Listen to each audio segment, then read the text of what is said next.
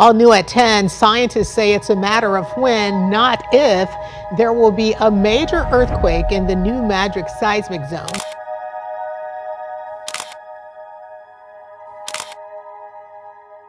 It is a matter of when, not if, another earthquake will hit the New Madrid seismic zone, centered around 160 miles south of St. Louis, according to scientists. Unknown to many, a massive force lies dormant, hidden from the naked view. The New Madrid seismic zone holds stories of past destruction and everything hints at the potential of another one, with everyone going about their life unbothered. Could we be close to experiencing another ground shake like the one experienced in the 1800s? Is there a way to beat it? Join us as we dive into the story of what just emerged at New Madrid terrifies the whole world. The mystery of the 1811 earthquake. On the 16th of December 1811, the United States experienced a strange event when the earth started shaking hard. Tremors in Asheville, North Carolina woke many people up, and although there was no major death or damage, it was scary for residents who had never before experienced an earthquake. A few days after that, there was widespread news of this similar event. Stories appeared in papers far and wide, from Charleston in the south to Washington, Pittsburgh, Detroit, and New York in the north, covering distances as far as the UK to Greece. Almost the entire country felt the quakes. The shaking did not stop there. It kept on occurring over the next two months until February of the following year. People were desperate to find out where these shakes were coming from, but back then, messages took a long time to spread. As news slowly reached the big East Coast cities from inland, it became clear that the closer to the west the news came from, the scarier it was. Reports from the Mississippi Valley in the New Louisiana were the scariest. The winter of 1811 and 1812 saw the most frightening and intense earthquake series in the United States. There were over 2,000 quakes, with some reaching magnitudes of seven more. These were the strongest quakes ever recorded in the contiguous United States, happening not along the west coast, but right in the middle near New Madrid. The quakes caused extensive changes to the region's topography. Subsidence, uplift, fissures, landslides, and riverbank collapses were common. Trees were uprooted by the intense shaking. People drowned when subsided land flooded. Reelfoot Lake was formed in Tennessee by subsidence of 1.5 meters to 6 meters in some places. Lake St. Francis in eastern Arkansas was expanded by subsidence, with sand and coal being ejected from fissures in the adjacent swamps as water levels rose by 8 to 9 meters. Waves on the Mississippi River caused boats to wash ashore.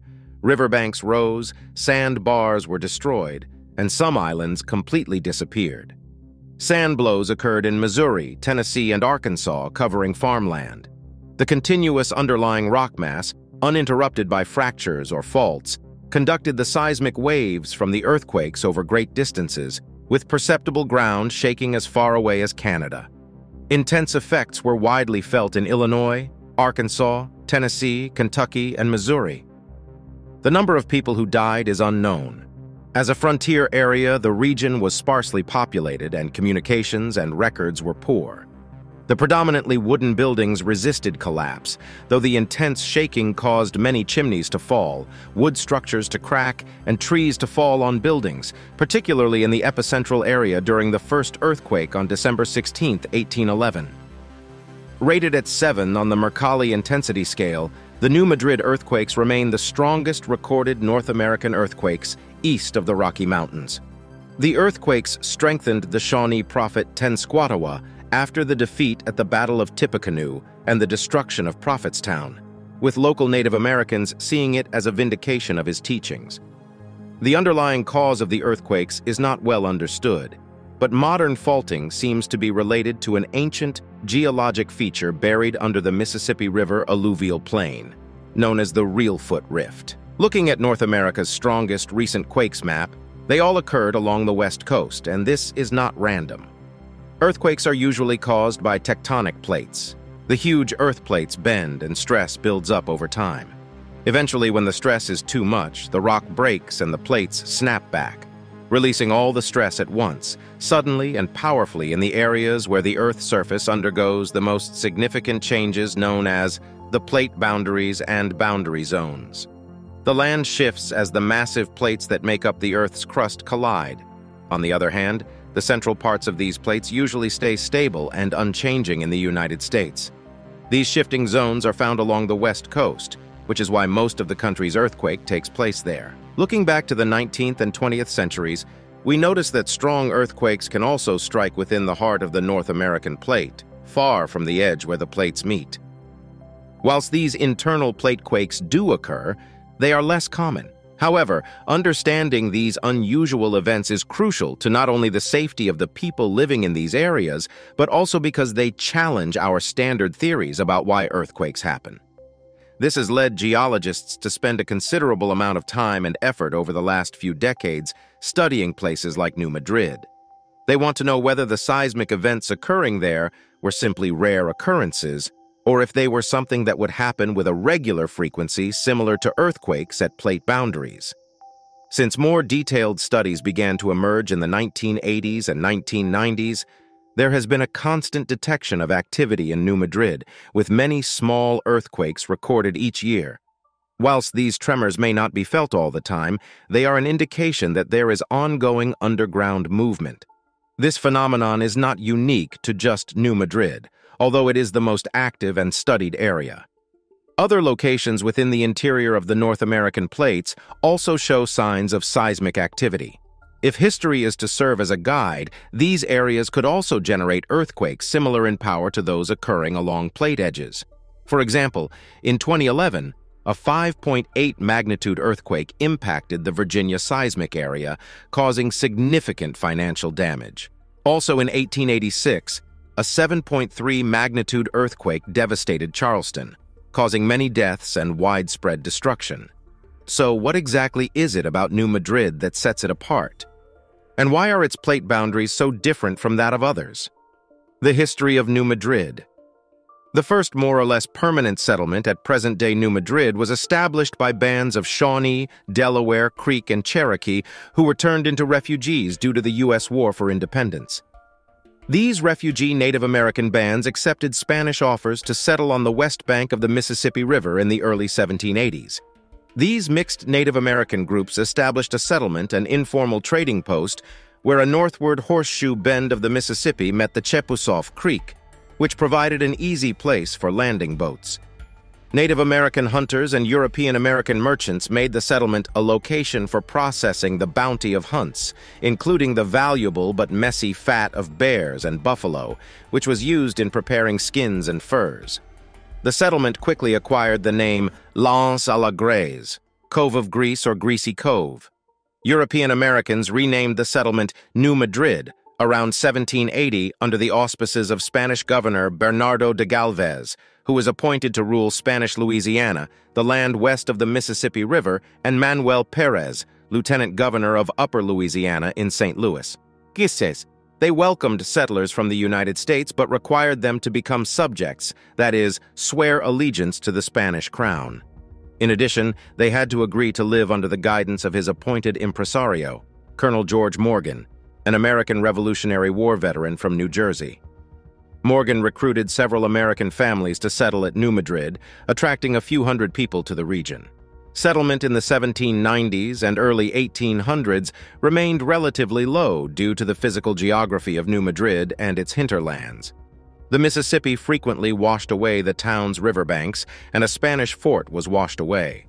Surrounded by low, swampy land, New Madrid developed a well-earned reputation for diseases, especially in the summer and fall. Spanish census data from the late 1790s show around 800 residents in the village of New Madrid. New Madrid continued to operate as a site of exchange between Native Americans in the St. Francis River Valley and European American traders operating out of New Madrid. In 1800, Spain traded the territory back to France in the Third Treaty of San Ildefonso. After trying to regain control of Saint-Domingue, the present Haiti, where a slave rebellion was underway, Napoleon gave up on his North American colonies, agreeing to sell this territory to the United States in 1803 as part of the Louisiana Purchase. The area is noted as the site of a series of more than 1,000 earthquakes in 1811 and 1812, ranging up to approximately magnitude 8, the most powerful non-subduction zone earthquake ever recorded in the United States. New Madrid lies far from any plate boundaries, but it is on the New Madrid seismic zone. The major earthquake was felt as far away as the East Coast.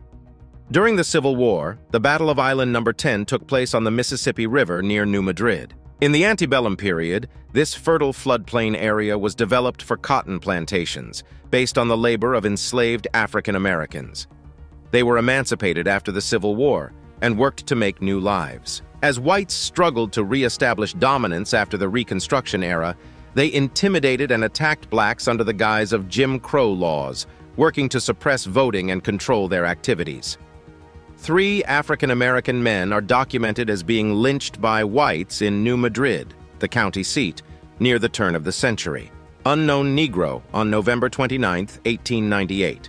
Lewis Wright, a musician in a minstrel show accused of altercations with whites, hanged on February 17, 1902, and Unknown Negro, May 30, 1910. By the turn of the 20th century, some industry was being developed in New Madrid, which contained two lumber mills, a grist mill, a stave and heading factory, and a cotton gin.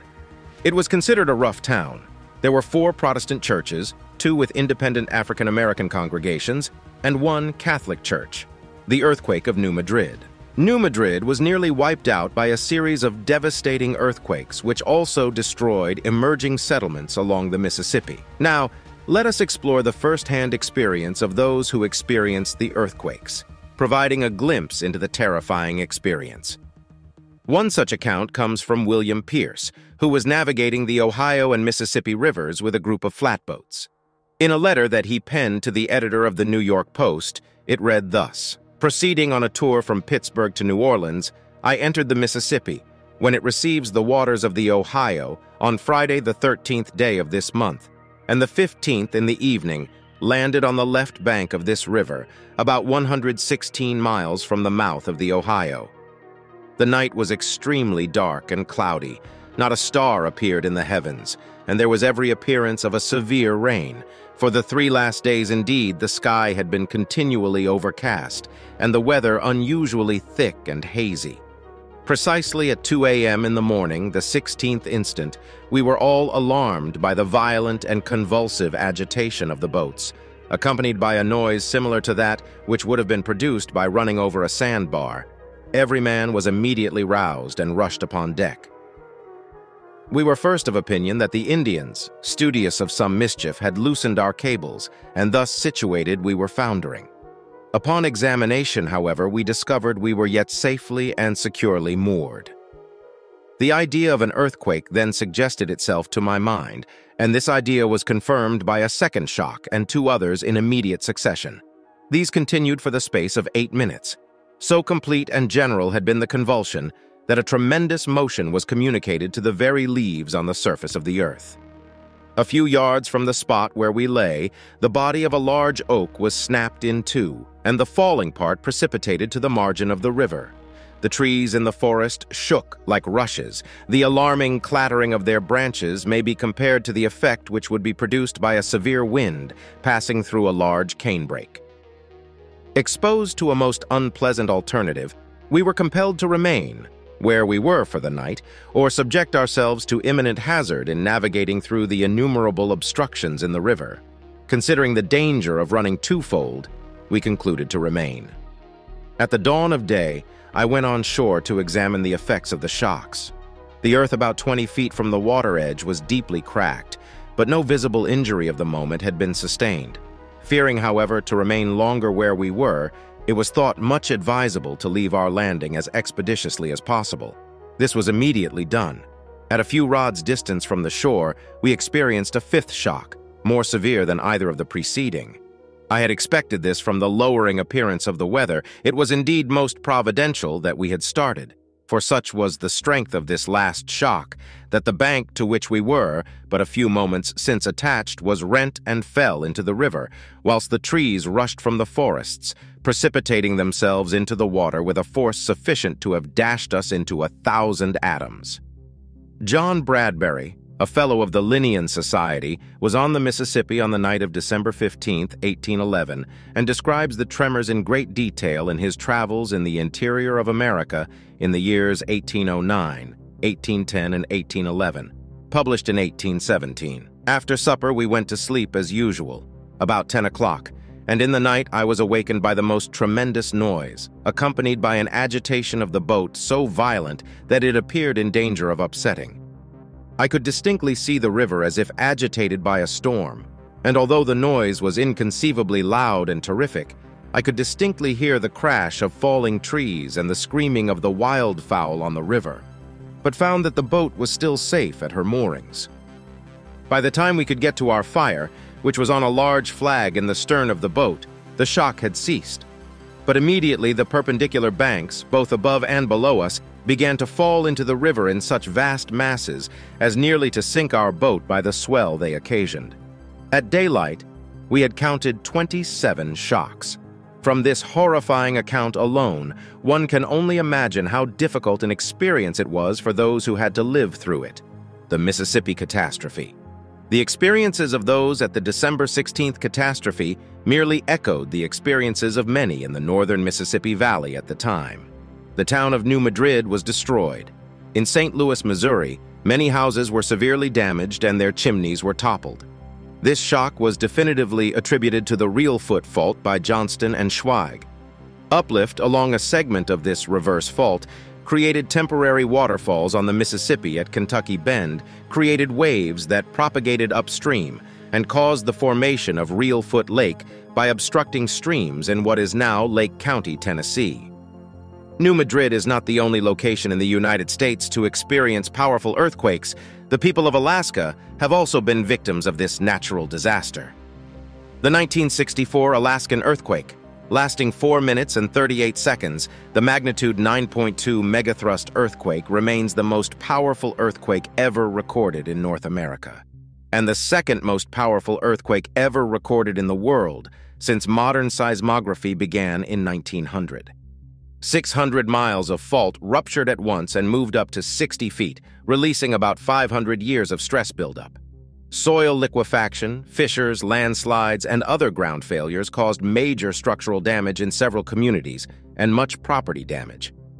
Anchorage sustained great destruction or damage to many inadequately earthquake-engineered houses, buildings, and infrastructure, paved streets, sidewalks, water and sewer mains, electrical systems, and other man-made equipment, particularly in the several landslide zones along Knik Arm. 200 miles southwest, some areas near Kodiak were permanently raised by 30 feet. Southeast of Anchorage, areas around the head of Turnagain Arm near Girdwood and Portage dropped as much as 8 feet, 2.4 m, requiring reconstruction and fill to raise the Seward Highway above the new high tide mark. In Prince William Sound, Port Valdez suffered a massive underwater landslide, resulting in the deaths of 32 people between the collapse of the Valdez City Harbor and docks and inside the ship that was docked there at the time. Nearby, a 27-foot tsunami destroyed the village of Chenega, killing 23 of the 68 people who lived there. Survivors outran the wave, climbing to high ground. Post-quake tsunamis severely affected Whittier, Seward, Kodiak, and other Alaskan communities, as well as people and property in British Columbia, Washington, Oregon, and California. Tsunamis also caused damage in Hawaii and Japan. Evidence of motion directly related to the earthquake was also reported from Florida and Texas. Most coastal towns in the Prince William Sound, Kenai Peninsula, and Kodiak Island areas, especially the major ports of Seward, Whittier, and Kodiak, were heavily damaged by a combination of seismic activity, subsidence, post-quake tsunamis, and or earthquake-caused fires. Valdez, with 32 dead, was not destroyed, but after three years, the town relocated to higher ground four miles west of its original site. Some Alaska Native villages, including Chenega and Afognak, were destroyed or damaged. The earthquake caused the ballistic missile detection radar of Clear Air Force Station to go offline for six minutes, the only unscheduled interruption in its operational history. Near Cordova, the million-dollar bridge crossing the Copper River also suffered damage, with spans slipping off its pylon and collapsing. The community of Girdwood was also confined to the southern side of the Seward Highway when water rushed into Turnagain Arm and flooded or destroyed any buildings left standing to the north of the highway. Only the ground immediately along the highway and that on the north side of the road dropped, prompting geologists to speculate that Girdwood may rest upon an ancient cliff face covered by thousands of years of sediment and glacial deposits. There were hundreds of aftershocks in the first weeks following the main shock. In the first day alone, 11 major aftershocks were recorded with a magnitude greater than 6.0. Nine more struck over the next three weeks. In all, thousands of aftershocks occurred in the months following the quake, and smaller aftershocks continued to strike the region for more than a year. Alaska had never experienced a major disaster in a highly populated area before, and had very limited resources for dealing with the effects of such an event. In Anchorage, at the urging of geologist Lidia Selkregg, the city of Anchorage and the Alaska State Housing Authority appointed a team of 40 scientists, including geologists, soil scientists, and engineers, to assess the damage done by the earthquake to the city. The team, called the Engineering and Geological Evaluation Group, was headed by Dr. Ruth A.M. Schmidt, a geology professor at the University of Alaska Anchorage. The team of scientists came into conflict with local developers and downtown business owners who wanted to immediately rebuild. The scientists wanted to identify future dangers to ensure that the rebuilt infrastructure would be safe. The team produced a report on May 8, 1964, just a little more than a month after the earthquake. The United States military, which has a large active presence in Alaska, also stepped in to assist within moments of the end of the quake. The U.S. Army rapidly re-established communications with the lower 48 states, deployed troops to assist the citizens of Anchorage, and dispatched a convoy to Valdez. On the advice of military and civilian leaders, President Lyndon B. Johnson declared all of Alaska a major disaster area the day after the quake. The U.S. Navy and U.S. Coast Guard deployed ships to isolated coastal communities to assist with immediate needs. Bad weather and poor visibility hampered air rescue and observation efforts the day after the quake. But on Sunday the 29th, the situation improved, and rescue helicopters and observation aircraft were deployed. A military airlift immediately began shipping relief supplies to Alaska, eventually delivering 2,570,000 pounds of food and other supplies. Broadcast journalist Genie Chance assisted in recovery and relief efforts, staying on the airwaves over Anchorage for more than 24 continuous hours as the voice of calm from her temporary post within the Anchorage Public Safety Building. She was effectively designated as the public safety officer by the city's police chief. Chance provided breaking news of the catastrophic events that continued to develop following the magnitude 9.2 earthquake, and she served as the voice of the Public Safety Office, coordinating response efforts connecting available resources to needs around the community, disseminating information about shelters and preparing food rations, passing messages of well-being between loved ones, and helping to reunite families. In the longer term, the U.S. Army Corps of Engineers led the effort to rebuild roads, clear debris, and establish new town sites for communities that had been destroyed for $110 million. The West Coast and Alaska Tsunami Warning Center was formed as a direct response to the disaster. Federal disaster relief funds paid for reconstruction, as well as financially supporting the devastated infrastructure of Alaska's government, spending hundreds of millions of dollars that helped keep Alaska financially solvent until the discovery of massive oil deposits at Prudhoe Bay. Thanks for watching. Make sure to subscribe to our channel and check out another of our interesting videos.